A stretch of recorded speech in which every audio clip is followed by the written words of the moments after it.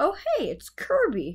Kirby seems to be enjoying a lovely day in Dreamland or bed when all of the sudden Kirby is approached by a fursona. And I meant, uh, well, let's redo. Kirby is approached by a strange red cat. The cat introduces himself as Jerk Banyan. Now, what's a Jerk Banyan? Kirby asks, and Jibanyan doesn't answer.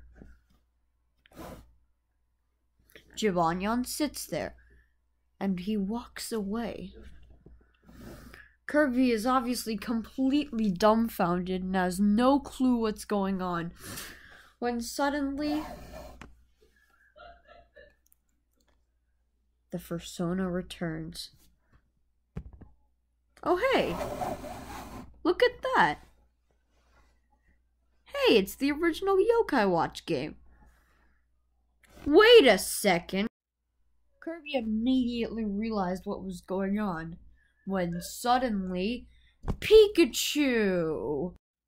Pikachu introduced Kirby to their to Pokemon's newest invention game called Pokemon Ultra Sun and Moon. Except for the moon part. And moon. Whatever. And so, Kirby apparently made it apparently clear that these were salesman enemies trying to sell games to benefit their company. And Kirby, Kirby just couldn't let that happen.